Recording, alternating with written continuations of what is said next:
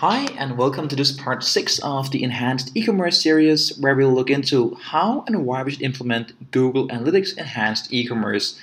In this part 6 we'll look at retrieving, adding and everything regarding to the cart when users go in and modify the items inside the cart.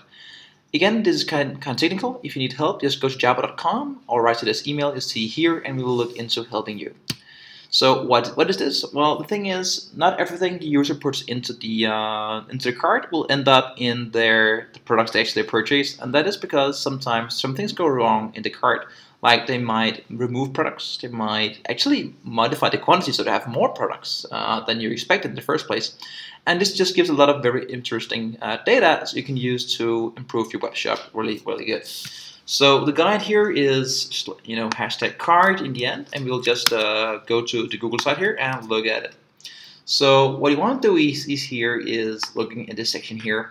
What they do here is every time that something is modified, they will they will make this card here. They e-commerce, you have the currency code as you used to, and then you say add, and then you actually show exactly what products you have been adding and so if you, this could be used on a product page. So if you or a category page. So if I go on a product page and I want to add it to the cart, well, I go in here and I say put to cart. And you, you give the data, name, ID, and so forth the product. If you go in here, you can actually see the, the required data to fill. And, and, and this is again uh, the, the Google documentation for it. Um, so this is what you send. And this is just like you normally would using a data layer where you put it. Uh, this just like you done with clicks and the impressions of uh, recommendations and products.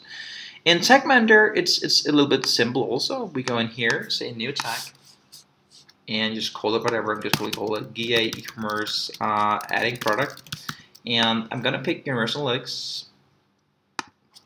And tracking ID, what I do is here I use a macro as explained, I think it was in part 4 of the series.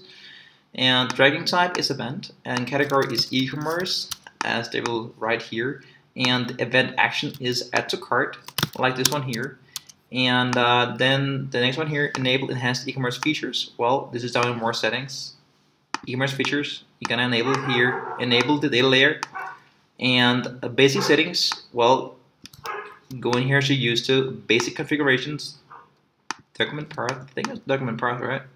Yep, and then the, the event uh, you go in here firing rule and you say all right event equals add to cart equals have to spell correctly. And we have event here event equals add to cart. And now you're done. Actually this is all you need and you're now you have both the data layer added as we did here and Tag Manager we've done already here and now you're good to go.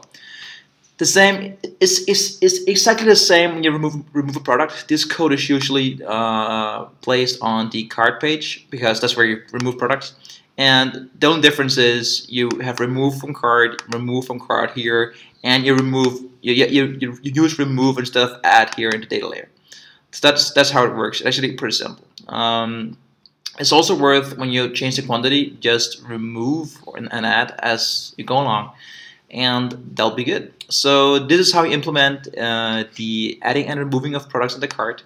And uh, just to finish up, uh, you can see the full guide here uh, with everything with, regarding e-commerce on jarboo.com. You go to the resource link in the top, and uh, then you will see the whole guide. So thank you. Uh, I hope to see you in the next part of this video series. We will look at some more features of enhanced e-commerce.